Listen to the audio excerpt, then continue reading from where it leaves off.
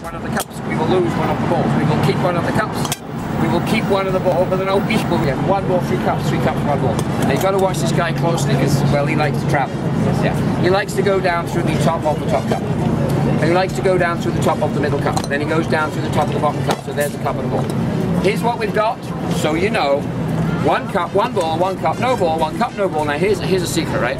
If I take a ball from the cup, put the ball in the bag, it goes right back to the cup. Do you know why? It's called the cups and balls. Rather than a cup will be a ball. That's the way the silly trick works. As I put it, they doesn't believe in magic, does he? Say goodbye to the ball. Same true over here, you see, because there's a cup, there has to be a ball, right? That's the way the silly trick works, yeah?